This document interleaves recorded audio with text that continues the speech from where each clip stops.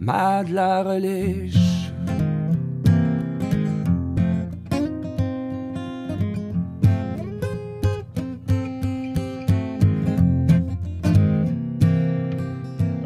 Vendredi, le 20 novembre, podcast 63. Alors, euh, le thème de cette semaine, c'est un choix d'un auditeur, une suggestion d'auditeur. Alors, pour les prochaines fois, ben, on invite, là, si vous avez des, des commentaires, des idées pour, pour les, les prochains épisodes, ben, ça nous fait plaisir. Écrivez-nous dans les commentaires, puis, puis on les prend, euh, puis on peut écouter ça. Là, ben, on peut euh, euh, se faire une banque, euh, une banque de thèmes, puis partir avec ça. Donc, cette semaine, euh, donc, euh, merci à l'auditeur qui nous a suggéré le thème des reliches. Donc, pour faire suite avec les mayonnaises, ça, ça, ça, ça nous fait, ça, ça va de soi. Donc, on y va. Et ben, qui, qui est avec nous cette semaine? Voulez-vous le savoir? Est-ce qu'il y a une invitée surprise? Il manque Oh. comme un. On a en direct de, de Longue Pointe euh, Camille qui est avec nous cette semaine. Euh, Camille, merci d'être là. Diplômée, Merci, diplômée de l'école Saint-Sacrement, c'est important de le rappeler à chaque fois. Bon. Thierry, Thierry, réveille-toi, face. Thierry. Thierry. Thierry. Thierry, t'as- t'as-tu mis tes écouteurs? Thierry? Je vais t'expliquer pourquoi, je vais t'expliquer pourquoi je suis fâché tantôt. Je vais t'expliquer pourquoi j'ai, je pense qu'il y a quelque chose que, qu'il faut qu'on Ah ben, qu'on- laisse-moi finir, Non, non, c'est correct. finir mon introduction. On savait même pas qu'il était branché, Thierry. Qu'est-ce que t'as fait? En tout cas, Donc. On Alors, pensait dormait, Thierry- mais il dormait C'est fâché. Thierry, Thierry qui est fâché. On va, on en savoir plus euh, tout à l'heure. Donc, Thierry, merci d'être dans le podcast. Euh, voilà. Et Mathieu, le livrologue, euh, qui est avec nous. Euh, fan, on, on va le dire, ça fait longtemps qu'on n'a pas dit tout ce que Mathieu est. Donc, euh, livrologue, fan des Whalers, frère d'un facteur. Frère jumeau. Oui, Frère jumeau, le facteur. Et il y en avait un autre, me semble. Euh, conducteur de logo. concepteur de logo. Et voilà, je pense qu'on les a toutes. Et, et moi-même à l'animation. Donc voilà, c'est parti pour l'épisode 63 sur la reliche, vendredi le 20 novembre. Bon podcast. Thierry, pourquoi t'es mal... pourquoi t'es ch- fâché là? On fait un épisode sur la reliche. Tu le sais que je suis traumatisé par la reliche, étant donné mon échec lamentable de mes petites reliches, que je suis en, processus de faillite. Je passe mes journées le cul dans une, chez le syndic. Puis, non seulement ça, mais tu as une implication là-dedans, Renaud. Tu le sais que tu es impliqué dans ma faillite parce que c'est un peu parce que tu pas voulu. T'as pas voulu participer à l'entreprise, t'as pas voulu m'aider. Oui, la fraternité quand t'es pas prêt à investir ton coussin financier pour un projet, un projet d'avenir. Même pas prête à mettre de l'argent sur la table quand vient le temps de dire la religion. En ce qui me concerne, personne dans le direct, dans, ben, dans le direct, dans le podcast, en ce moment, aime vraiment la religion. Euh, moi, j'en ai un pot ici, là, constamment à côté de mon bureau, en fait. Ben, Ah, en fait, ouais? là, en ce moment, j'ai de la reliche de concombre, mais j'ai toujours un pot de reliche euh, sur mon bureau, là. Mais moi, quand j'étais en train de me noyer dans la relish, là, en train de faire faillite, a personne qui m'a tendu la main. Ta relish est bonne, Thierry? non, mais tu sais. J'en ai tous donné un pot. Vous, vous devriez savoir si ma relish est bonne ou non. J'en ai tous donné un pot. Puis il me Oui, semble que tout bon, le monde. a-. Il me semble que ma rétroaction, ça avait été que vous aviez tous adoré ça. Mais après ça, quand Ouais, c'était le temps c'est à la mangue, je pense. La à la mangue, je pense, moi, je savais. Ouais. Mais c'est depuis ce temps-là, en fait, que je suis devenu accro, puis j'ai toujours un pot de reliche sur, sur mon, sur mon Ah bureau. ouais? Ben oui. Mais quand ça a été le La reliche temps. à la mangue, moi, ça. Mais moi, moi, j'ai jamais parlé de tes problèmes financiers. là. Euh, En même temps, je- je- il y a quand même ton frère dans le podcast en ce moment, puis il a rien fait. Fait que je, je, je suis qui, moi, pour. Il faut savoir parce que parce qu'il y a des reliches qui sont bonnes, il y a des reliches qui sont pas bonnes. Selon euh, euh, puis là j'ai pas réussi à avoir accès au site au complet là, fait que mais zonerecette.canalblog.com, il demande d'accepter des cookies, puis moi je veux pas là, je veux parler de reliches, je veux pas parler de biscuits. Fait que mais euh, euh, elle a disait le début là, c'était euh, si c'est coupé ben ben fin, c'est pas bon ta relish. Des petits morceaux de, de concombre, euh, ça a l'air que Eve- Evelyne de la maison Reli- Relish Maison d'Evelyne dit que c'est pas bon. Mais le trois quarts de ce qu'on appelle la relish aujourd'hui, c'est même pas de la relish. C'est du chutney. Ou bien c'est des cornichons passés au blender. Ah, c'est pas de la relish. J'ai essayé de trouver de la vraie relish aujourd'hui. puis Premièrement, depuis que mes, mes petites relish à moi sont plus en magasin, sont plus dans les salons de tatouage, sont nulle part. Puis moi, je vous en prépare. Et- Ça, c'est bien vrai! J'avais oublié ça, le salon de tatouage. Mais Thierry, C'est un bon souvenir. c'est-tu c'est-tu tant moi qui n'ai pas investi le problème ou ben non, euh, il y a quand même eu une pandémie, là? Ben oui, tout le temps de la faute de la pandémie. même. euh, les gens ont-tu moins mangé de relish?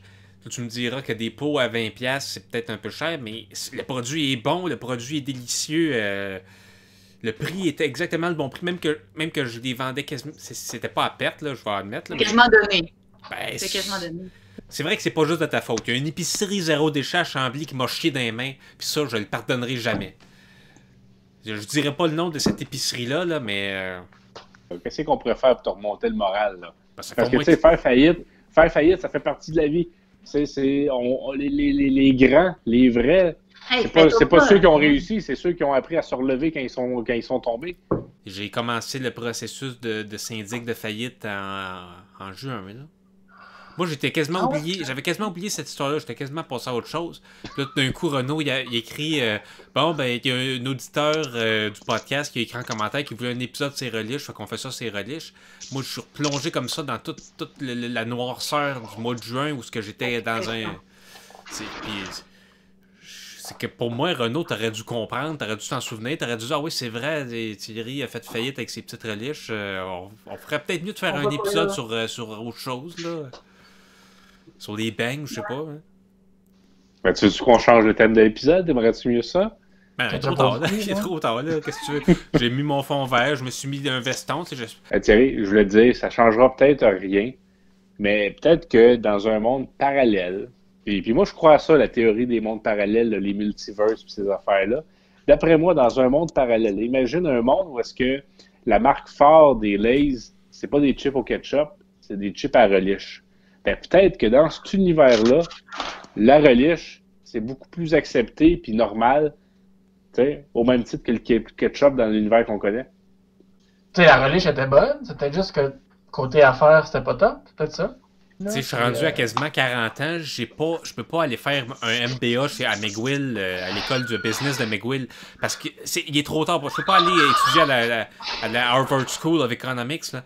Moi, c'est, c'est, c'est pas bien simple. J'ai, j'ai suivi des formations en ligne pour faire du marketing. J'ai, j'ai, j'ai acheté des hashtags pour avoir les meilleurs hashtags sur Instagram.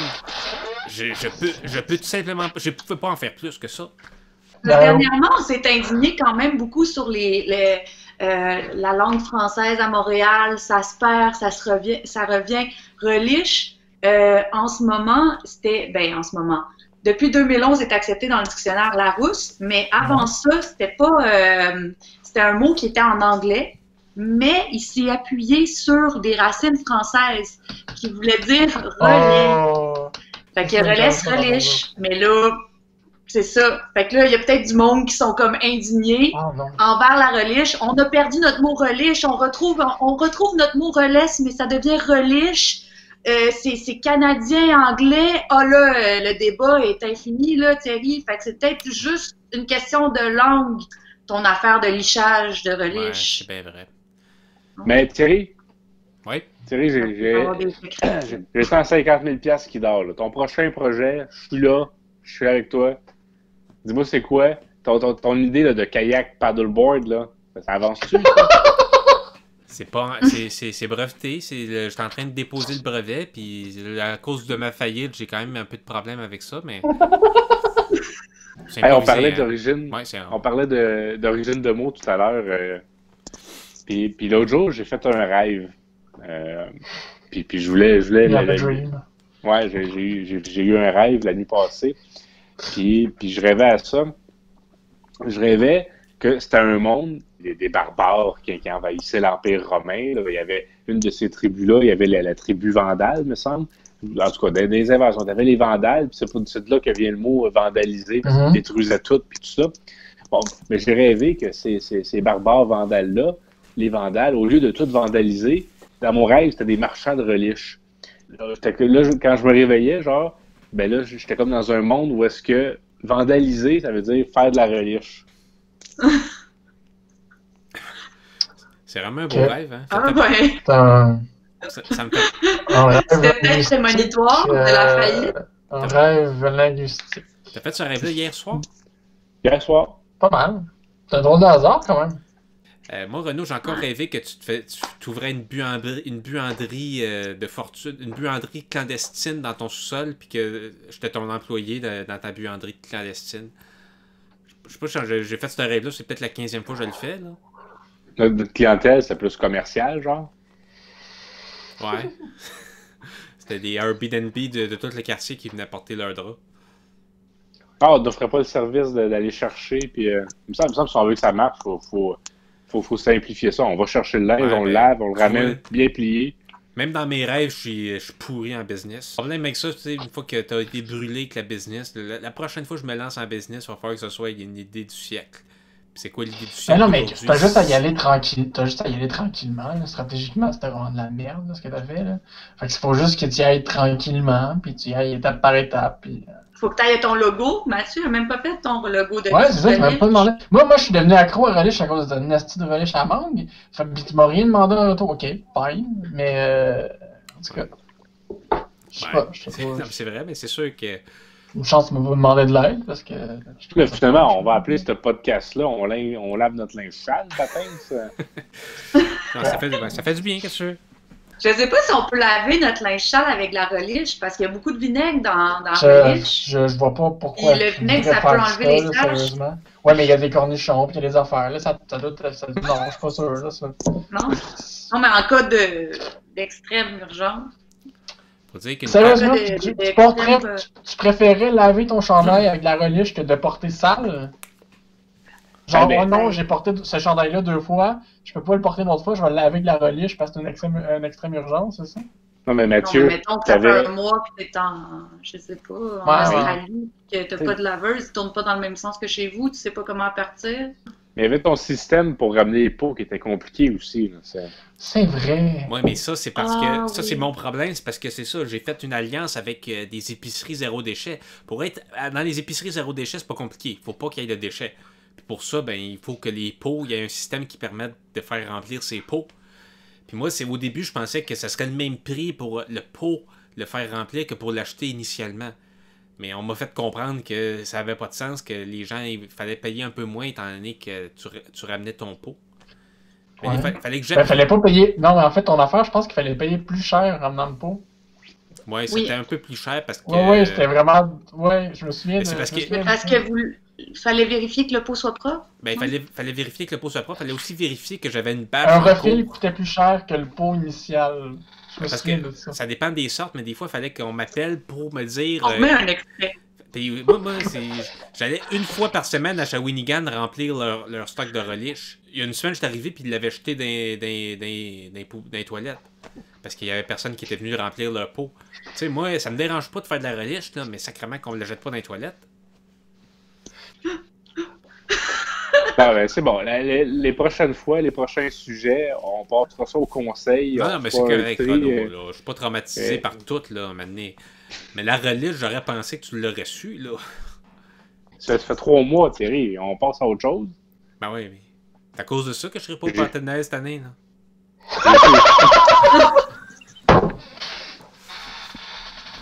Hey, le linge se lave.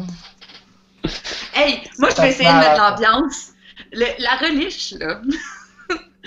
la relish, là, euh, est revenue dans le dictionnaire en 2011. Puis je voulais vous dire, ben, je sais pas si ça vous intéresse de savoir, parce qu'il y y a des nouveaux mots qui sont apparus en même temps que relish dans le dictionnaire en 2011. Huit nouveaux mots québécois dans la rousse.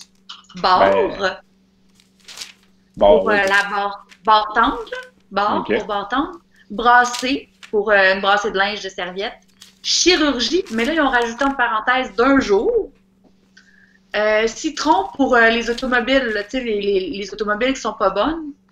Euh, gale pour euh, la croûte de plaie. là. Il, il- il- il mentionne en, en parenthèse itinérant, itinérante pour sans-abri, relish le condiment, rince-bouche la solution antiseptique, puis quatre Canadiens dans les noms propres. James Cameron, le cinéaste là, de Mhm. Titanic puis Avatar.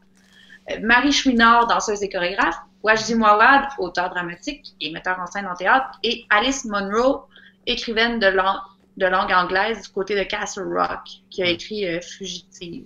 Prix Nobel de 2016, 2015. Ah, ça, je sais pas, c'est pas écrit, mais c'est ça qui, ça. qui sont Mais apparus Dans euh, le en petit 2011, Robert, dans le c'est petit ça. Robert 2009, Relish est là. Relais chez là en 2009? Ah ben, les Non, mais dans le, dans le- dans le petit Robert. Le petit Robert. Mais moi, j'ai Ben oui, j'ai- mais précurseur. j'ai pas de En avant. rabous. Ben, euh, Ah, ah ouais, mais en termes de dictionnaire, le petit Robert est quand même mieux que le Larousse, là. By the way. Ben moi j'aime bien le petit, Le petit le- Robert, le petit Larousse, c'était le fun parce qu'il y avait beaucoup d'images, fait que tu peux regarder des, des, des... Mais c'est pour ça que c'est plus considéré comme une encyclopédie qu'un dictionnaire. là, c'est- C'était un projet de démocratisation du savoir de M. Pierre Larousse.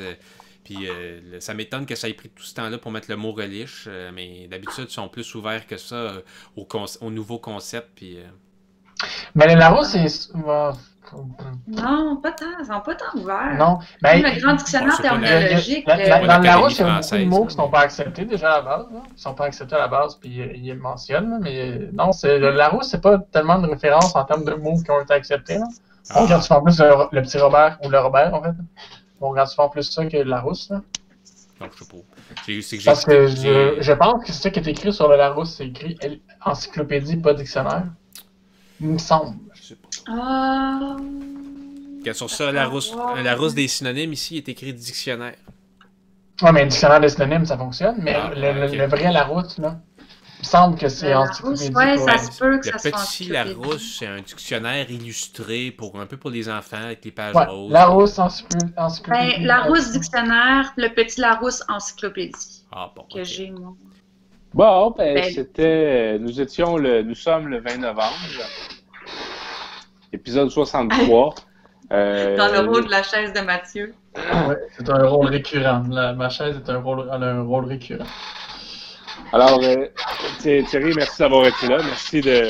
Encore une fois, désolé pour, pour tes reliches puis tout ça. Je te souhaite que, euh, qu'au, final, tu aies pu utiliser ce, podcast-là comme euh, une thérapie pour laisser ça. Tu pas vivre ça tout seul. C'est important d'en partager. Tes échecs, ça peuvent être des leçons de, de, de, de milliers, de millions de gens. Moi, mon conseil aux gens, ce serait fiez-vous jamais à personne, ni à votre famille, ni à vos amis. C'est la morale de- du podcast de Surtout les pas. Ne vous fiez à personne. Si vous êtes au sommet du monde, euh, on va venir euh, vous emprunter de l'argent. Puis si vous êtes euh, dans- au, au fond du baril, ben attendez-vous pas à ce qu'on vous tende la main. Mais c'est pas comme le vélo, quand tu tombes, faut que tu, euh, tu remontes. euh, non, comme le, le cheval plus que le vélo. là. Mais quand tu tombes, faut que tu, euh, tu remontes pour, pour avoir peur à vie.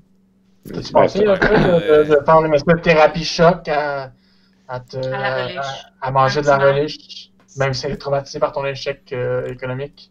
Ouais, il faut que tu fasses exactement comme Napoléon Bonaparte. Qu'est-ce qu'il a fait quand il a perdu son empire? Il est revenu. Puis il a perdu Ah, là. Ah, 150 c'est un bain de relish. Peut-être meilleur exemple que Napoléon, quand même, juste, juste comme. Ben, après ça, il a vécu tranquille pendant 6 ans sur l'île Sainte-Hélène, puis il a eu la Sainte Paix. Tu sais, après Ouais, ouais, tout, ouais, euh, pas super ça. Je suis sûr que t'es bien content. Je vous ramène à l'ordre de tout le monde. Le podcast est terminé. Euh, on a fini de parler de relish. Ça va être relish slash euh, la, la- lavage de linge sale. Mais, mais des fois, il faut, il- ça prend des podcasts un peu plus, euh, un peu plus comme ça pour remettre les pendules à l'heure. Merci Camille d'avoir été là. Camille, notre Merci. diplômée de l'école Saint-Sacrement. Merci Mathieu d'avoir été là, notre livrologue amateur de relish.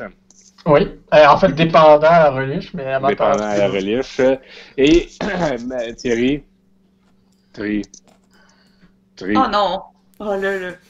C'est le bout! Ah, non! c'est bon, écoute, là, ça me prend un projet qui m'allume, Thierry. Le- le- Tes paddleboard kayak, ça, il y a du potentiel. Tu es un imperméable, imperméable.